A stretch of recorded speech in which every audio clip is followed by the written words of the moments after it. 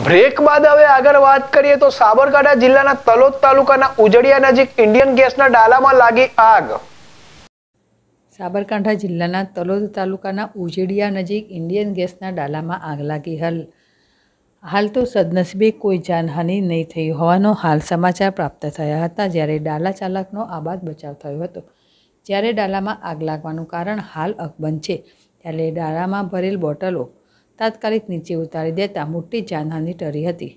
પરંતુ ડાલામાં ગેસની બોટલો હોવા છતાં ફાયર સેફટી અભાવ જોવા મળ્યો હતો.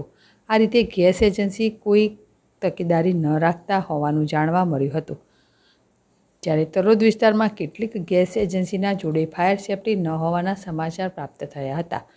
આ ઘટના બનતા જોવા માટે લોકોના ટોરેટોરા ઉમટી પડ્યા હતા. અર્જુનસિંહ પરમાર જેડેશ ટીવી તલોદ